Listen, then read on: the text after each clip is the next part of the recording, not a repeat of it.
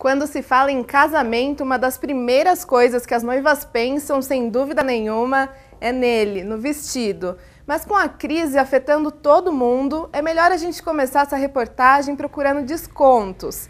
E para sorte das noivas, tem loja aqui em Itatiba fazendo liquidação de vestidos. A gente traz novidade para os nossos clientes o ano inteiro para estar tá sendo, sempre renovando nosso estoque. Então, quando a gente traz essas novidades, a gente tira algumas peças da loja também, porque precisa estar tá renovando, né? Não deixar a mesma roupa muito tempo. Então a gente vai mandando para o nosso estoque, né? Isso ao longo do ano. Então, uma vez por ano, a gente pega essas roupas do estoque. E na semana da liquidação também a gente tira mais roupas né, da nossa loja e faz essa liquidação. A liquidação será realizada no sábado, dia 9, na loja Patali Noivas, na rua Barão de Itapema. E para se ter uma noção, esse vestido de festa, que custaria 230 reais o aluguel, vai poder ser comprado por R$ 80. Esse outro, 40 reais. Então, vestidos que eram 200, 220, 240, a gente está liquidando, vendendo, né, por 80 reais. São roupas inteiras, são roupas bonitas, temos vestidos importados de noivas, temos é, vestidos curtos, longos de festas, né?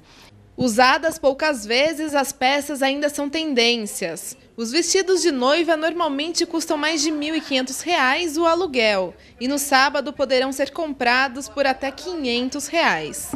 É, esse vestido é um vestido mega esotérico, é um vestido de uma marca renomada né, internacionalmente e ele, a gente alugava na loja na faixa de R$ 1.900 e agora ele vai estar sendo liquidado por é, 500 reais, né?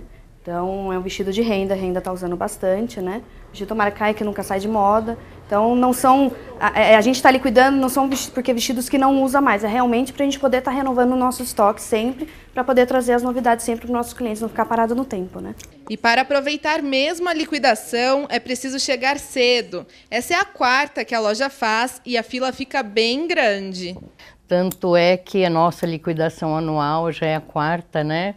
e o público nosso espera essa liquidação, sabe, todo eufórico. Às 8 horas a gente começa a entregar a senha, né?